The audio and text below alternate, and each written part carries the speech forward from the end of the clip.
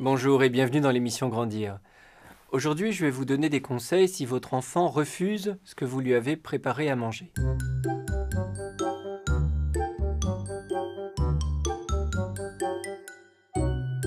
Entre 2 et 3 ans, il est normal que l'enfant ait des phobies alimentaires. C'est un âge où on devient euh, un peu difficile, où on se méfie d'un certain nombre d'aliments. Euh, où on est d'accord pour manger que du jambon, de la purée, euh, euh, des frites, mais où dès que les aliments sont un peu colorés ou un peu croquants ou ont un goût un peu amer ou un peu acide, on devient difficile. C'est aussi une période d'opposition. De toute façon, l'enfant ne fait pas seulement des caprices alimentaires, il fait des caprices tout court. il veut imposer un peu sa façon de voir, sa façon de faire. Il veut aussi tester vos limites. Bref, c'est une période difficile pour lui et du coup une période difficile pour vous. Mais ça fait partie du développement normal. Il s'agit donc de s'armer de patience. En général, ces périodes de difficultés alimentaires, quand elles sont bien gérées, elles durent rarement plus de, de deux ans. Il faut évidemment éviter le forcing. Il faut vraiment pas faire du temps de repas euh, un temps de bagarre. Il faut éviter aussi d'en faire une affaire personnelle. Souvent les parents, surtout quand ils ont cuisiné avec amour, se sentent vraiment rejetés quand l'enfant refuse l'alimentation qu'il leur est proposée. Ça n'est pas vous qu'il rejette. Comme c'est une période où il a envie de s'autonomiser par rapport à vous, s'il sent que pour vous cette histoire de repas c'est crucial, eh bien il va... Euh, refuser justement les aliments pour euh, s'affirmer, s'individualiser. Pour autant, il faut éviter de le laisser manger entre les repas, euh, et notamment des sucreries, au cas où il laisserait euh, vraiment son assiette pleine à l'occasion des repas.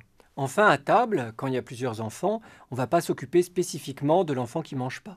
Il faut accorder autant d'attention aux enfants qui mangent qu'aux enfants qui ne mangent pas, parce que sinon, l'enfant qui ne mange pas aura tout intérêt à continuer de faire le difficile pour que vous vous occupiez de lui plus spécifiquement. D'abord, on peut tenir compte de ses goûts. Après tout, si on tient compte de ses goûts, peut-être qu'il prendra du poids et en plus, il mangera de manière plus ou moins euh, équilibrée. Sinon, on va adapter les choses. Par exemple, si il mange pas de poisson ou de viande, eh bien on peut lui donner des laitages. S'il mange pas de légumes, on peut lui donner des fruits à partir de, ce qu'il peut aimer, on peut assurer malgré tout un équilibre alimentaire en prenant conseil, si besoin, auprès d'un diététicien. S'il refuse de manger, on peut accepter, mais on doit exiger qu'il goûte. Parfois, un enfant doit goûter au moins une dizaine de fois avant d'apprécier ou d'apprécier à nouveau un aliment qui, jusqu'alors, était rejeté par lui. On lui demande de goûter, mais on ne lui demande pas de goûter plusieurs aliments en même temps. Ce que l'on fait également, c'est qu'on essaie au maximum de faire des repas de famille.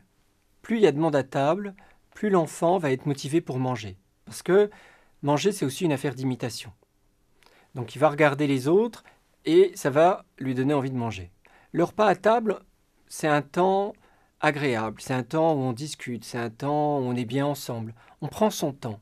Et puis c'est aussi un temps où le petit peut jouer en plus de manger. Il peut jouer d'ailleurs avec les aliments, il peut faire une pile avec les morceaux de pain, on peut faire un puits dans sa purée, euh, on peut faire des petits jeux d'ailleurs, manger avec une main dans le dos, on peut aussi en même temps qu'on mange donner à manger à la poupée.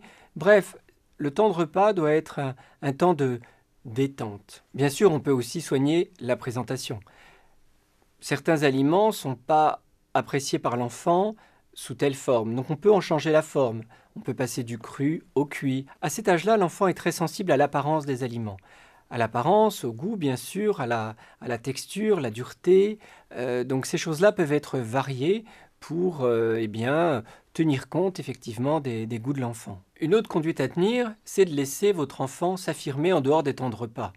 Hein, quand, par exemple, il demande à porter tel ou tel vêtement ou à faire telle ou telle activité, on peut aussi accepter de céder sur, euh, sur certains points pour que le temps de repas soit pas le temps exclusif d'affirmation de sa personnalité et de son opposition. Enfin, faites des compromis. C'est-à-dire que s'il n'aime pas tel plat, on peut avoir prévu un plan B, un autre plat. Maintenant, s'il refuse vraiment tout ce que vous lui proposez, eh bien écoutez, on quitte la table sans manger. C'est pas dramatique. Les enfants ne se laissent pas mourir de faim.